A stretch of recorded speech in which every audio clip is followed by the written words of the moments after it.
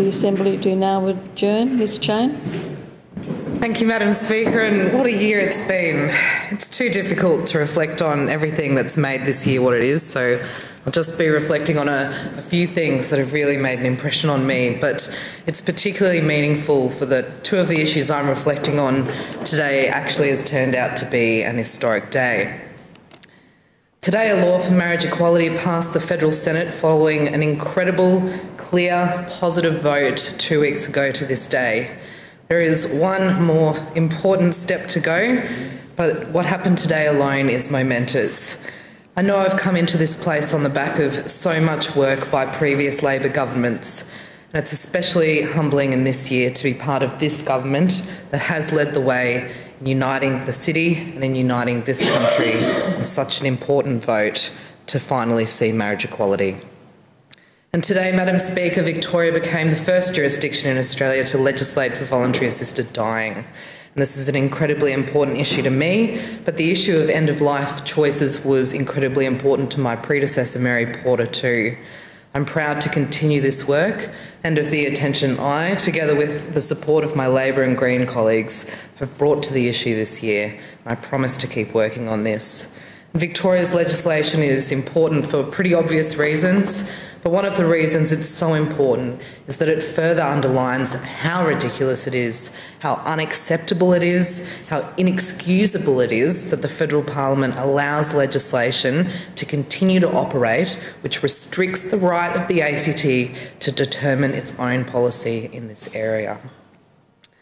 Madam Speaker, in my inaugural speech just under a year ago, I said continuing to have conversations is critical in this job, whether letters or at stalls or just on Facebook.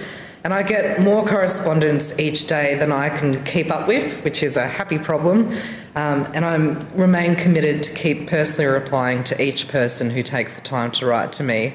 The problems that we help solve each day, day to day, really are the bread and butter of being an MLA. And it's through a street stall that I had one of the most meaningful and fulfilling interactions this year. In, I think, April, I met Cherie, who didn't have a job, and in fact, she hadn't worked for a very, very long time. And she approached me for help in finding a job. And frankly, Madam Speaker, I had no idea what to do. I wasn't sure if I would be able to help her, but I promised her that I would go down every avenue. I believed in her, Madam Speaker, and after a few dead ends, which I will acknowledge, I um, managed to encourage Cherie to apply for the Ginninderry Spark childcare program. And the long of the, of the short of long and the short of it is that she did, and I'm so so proud to report that Cherie kept in touch throughout the program every few weeks. Uh, that she graduated from that program earlier this month and she has found employment. We have a lot to be proud of in this place, Madam Speaker, especially as a government, but Cherie's journey will always hold a special place for me.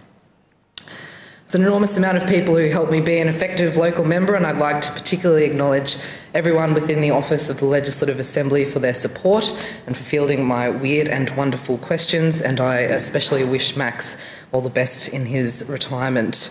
Thank you to my colleagues uh, throughout this chamber for working largely collegiately and making it an interesting place, uh, especially in committees.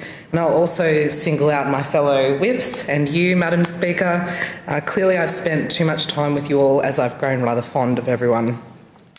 To my staff, Maddie, Josh, Manuri, Gemma, intern Jacob, and work experience student Andrew, you are the brains and uh, the patience behind the Tara Cheyne operation. You really do make all the difference, and I couldn't ask for a better or more supportive team. And for you to have had my back throughout this year has meant the world. And finally, thank you to the constituents of Ginninderra.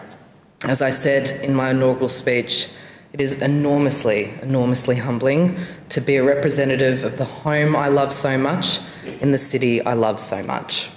It remains an honour and a privilege to be here, and there is more work to do. Thank you. Question is the